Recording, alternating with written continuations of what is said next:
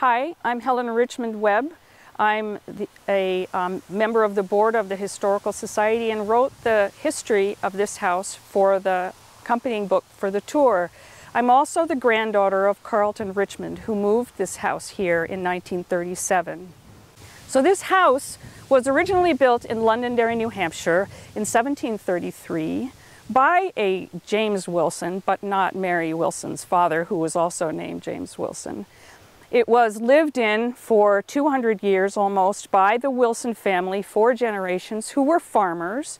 Some of them were fairly um, affluent farmers, gentlemen described as, but they were basically rural farmers from the Scots-Irish community in that area.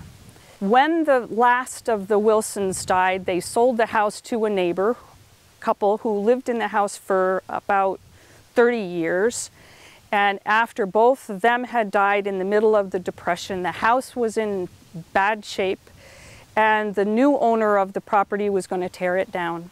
So my grandfather, Carlton Richmond, found out about the house as a um, very avid preservationist and collector of historic furniture and household goods.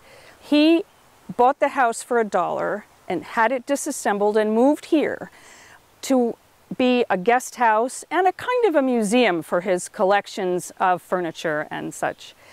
It was in my family, the Richmond family and the Ladd family, until 1998 when it was sold to the Keers, who have done a fabulous job of preserving it, restoring it, and adding a very, very sen historically sensitive addition to make it more suitable for 21st century living.